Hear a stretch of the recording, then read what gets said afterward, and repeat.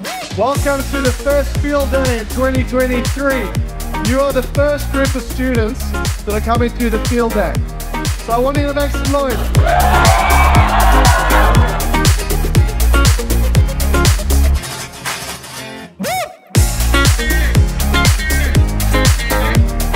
Um, I think today's a wonderful day for students to get on-site experience. I think they also get an opportunity to engage with industry specialists.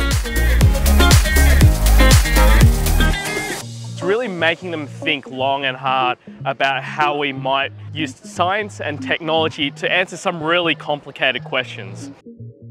getting the kids engaged and keeping the kids engaged, you know, that was really the most exciting part.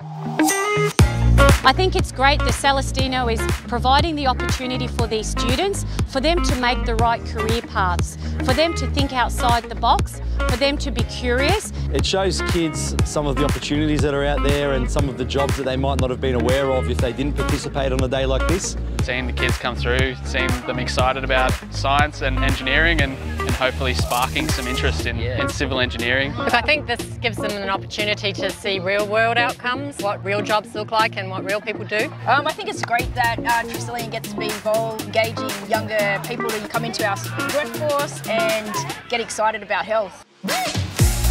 Days like this are really important to highlight how science is applied in the real world. What we're hoping to do here today is bring real industry problems to the leaders of tomorrow.